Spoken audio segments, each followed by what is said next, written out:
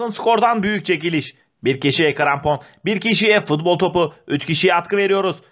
Çekilişe katılmak için kanala abone olup bildirimleri açmanız yeterli.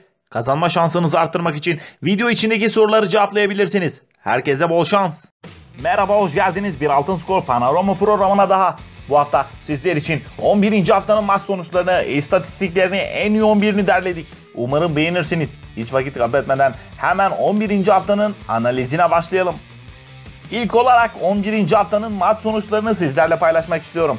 Haftanın ilk maçında Beşiktaş Kasımpaşa'yı 3-0'la rahat geçti. Gençler Birliği namalup olan Alanya Spor'u 2-1 yendi. Göztepe evinde Kayseri Spor ile 1-1 berabere kaldı. Başakşehir Yeni Malatya deplasmanından 1-1'lik sonuçla ayrıldı. Konya Spor Erzurum Spor'u 2-0 yenmeyi başardı. Galatasaray Hatay Spor'u 3-0 yenerek galibiyet serisini sürdürdü.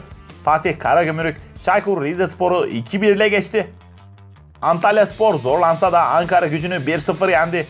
Fenerbahçe 10 kişi kaldığı maçta Denizli Spor'u 2-0 yenmeyi başardı. Haftanın son maçında Trabzonspor ile Sivas Spor 1-1 berabere kaldı. Oluşan puan durumu ise şu şekilde. Alanyaspor 1. sırada, Galatasaray 2. sırada, Fenerbahçe 3. sırada yer alıyor ve hepsinin de 23 puanı bulunuyor. 18. sırada bulunan Kayseri Spor'un 9, 19. sırada Gençler Birliği'nin 8, 20. sıradaki Denizli Spor'un 6 ve 21. sıradaki Ankara Gücü'nün ise 2 puanı bulunuyor. 11. haftada oynanan 10 karşılaşmada 4 kırmızı kart çıktı. Haftanın ilk maçında Kasımpaşalı Florent 55. dakikada kırmızı kart gördü. Diğer kırmızı kartlar ise Erzurum sporlu Mehmet Murat Uçar, Hatay sporlu Gökhan Karadeniz ve Fenerbahçe'den Serdar Aziz kırmızı kart gördü. 11. haftada çıkan penaltı sayısı ise sadece 4 oldu. Haftanın ilk penaltısını Alanya sporlu Bakasetas gole çevirirken aynı maçta Bakasetas 90 artı 5'te ikinci penaltıyı kaçırdı. Konya sporlu Uğur Demirok penaltıyı gole çevirdi. Diğer penaltı ise Denizli Spor'un lehine verildi ve Mulavski penaltıyı kaçırdı. 11. hafta oynanan karşılaşmalar neticesinde oluşan en iyi ilk 11'imiz şu şekilde. Kalede Fenerbahçe'den Altay Bayındır yer alıyor. Fenerbahçe zorlu Denizli deplasmanında maça iyi başladı. 2-0 öne geçti. Ama Serdar'ın kırmızı kart görmesiyle penaltı kazanan Denizli maçı geri çevireceğini düşünürken Altay Bayındır'ı unutmuştu. Penaltıyı kurtaran genç kaleci takımını maçta tuttu. Sadece penaltıyla kalmayıp tam 7 kurtarış daha yapan Altay 3 puanı söküp aldı. Altay Bayındır bu şahane performansıyla haftanın oyuncusu oldu. Defansın solunda Fenerbahçe'den Caner Erkin var. Bu sene Sarı Lacivertli takıma geri dönen Caner performansını yükseltmeye devam ediyor.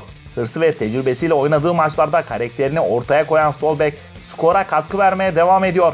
Kazanılan Denizli maçında yine asistini yapan Caner'in nasıl asist yaptığını artık herkes biliyor. Defansın ortasında Konya Spor'dan Uğur Demirok yer alıyor. Bu hafta Erzurum Spor karşısında 2-0 galip gelen Konya'da Uğur Demirok defanstaki başarılı müdahaleleriyle takımın iyilerindendi. 90 dakika sahada kalan Uğur bir de penaltıdan gol atarak takımına ofansif olarak da katkıda bulundu. Defansın sağında Fenerbahçe'den Gökhan Gönül var. Caner'le beraber bu sene geri dönen Gökhan kaldığı yerden devam ediyor. Oynadığı maçlarda son dakikaya kadar mücadeleyi bırakmayan Gökhan Gönül yaşına rağmen gençlere taş çıkarıyor. Caner'le beraber geliştirdikleri kornerleri çok üst seviyeye çıkardılar. Yine defalarca yaptıkları gibi ön direkte golünü atan Gökhan'a takımlar çözüm bulamıyor. Ön libero'da Beşiktaş'tan Atiba yer alıyor. İlerlemiş yaşına rağmen her maç 90 dakika oynayan Atiba en iyi sezonlarından birini geçiriyor. Defansif anlamda orta sahada takımı toparlayan Atiba skora da katkı vermeye devam ediyor. Kasımpaşa maçında da iyi bir performans ortaya koyan tecrübeli futbolcu bir gol atarak alınan 3 puanda pay sahibi oldu. Sol kanatta Beşiktaş'tan Raşit Gazel var. Bu sene siyah beyazlı takıma transfer olan oyuncu takıma uyum sağlamaya başladı. Bu hafta 82 dakika sahada kalan Gazel girdiği ikili mücadelelerin çoğunu kazandı. Atiba'ya asist yapan Gazel maçın iyilerindendi. Orta sahada Galatasaray'dan Feguli yer alıyor. Galatasaray'da sakatlıkların artmasıyla Feguli'ye ihtiyaç artmıştı. O da ağırlığını ortaya koydu ve son iki maçta alınan galibiyetlerde sahadaydı. Belhanda'nın yokluğunda liderliği üstlenen yıldız futbolcu hücumda çok etkili. Bu hafta da asistini yaparak boş geçmedi.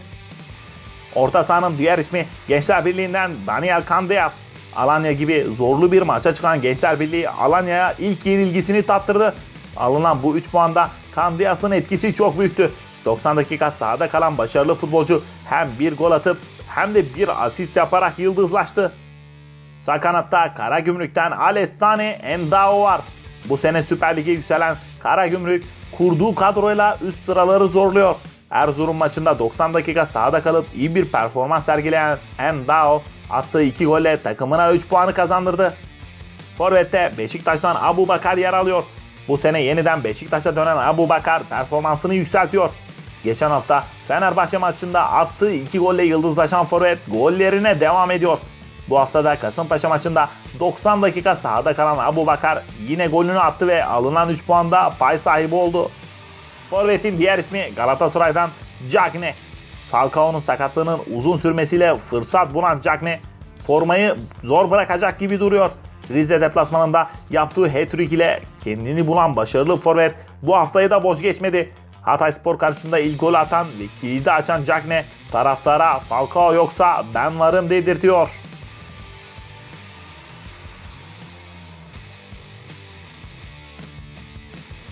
Haftanın takımı Fenerbahçe. Beşiktaş mağlubiyetiyle sarsılan Fenerbahçe Denizli maçına çok iyi hazırlanmıştı. İlk yarıyı 2-0 önde kapatan Sarı Lacivertler için her şey yolunda giderken Serdar Aziz'in kırmızı kartı ve penaltıyla beraber şok yaşadı.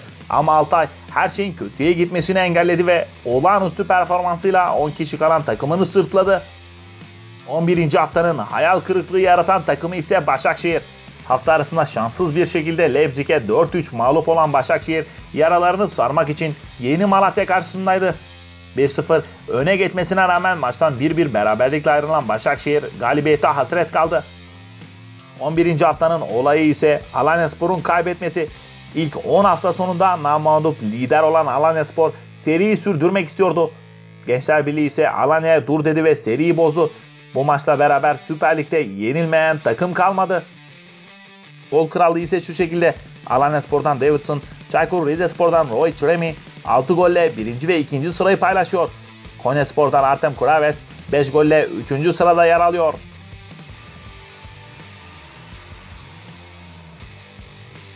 Asist krallığı ise şu şekilde. Başakşehir'den Edin Uiska ve Fenerbahçe'den Caner Erkin 4 asistle 1. ve 2. sırayı paylaşıyor. Beşiktaş'tan Raşit Gazel 3 asistle 3. sırada yer alıyor. Sizinle beraber gelecek haftanın fikstürüne bir göz atalım. Cuma günü Kasımpaşa Denizli Spor'u konuk edecek. Cumartesi günü ise Hatay Spor, Karagümrük, Kayseri Spor, Trabzonspor, Çaykur Rizespor, Göztepe, Ankara Gücü, Konya Spor ve Fenerbahçe Yeni Malatya Spor maçları var. Pazar günü ise sadece 3 maç var. Erzurum Spor, Gençler Birliği, İstanbul, Başakşehir, Gaziantep, Alanya Spor, Beşiktaş. Pazartesi günü ise Sivas Spor, Antalya Spor maçı var. Galatasaray ise bu hafta maç oynamayacak. Bu hafta Altın Skor Panorama programı olarak 11. haftanın maç sonuçlarını, 11. haftanın istatistiklerini ve en iyi ilk 11'ini derledik. Umarım beğenmişsinizdir. Eğer beğendiyseniz kanalımıza abone olmayı ve videolarımızı beğenmeyi unutmayın. Bu gibi videoların devamının gelmesini istiyorsanız yorumlarda belirtebilirsiniz. Şimdilik kendinize iyi davranın, sağlıkla kalın.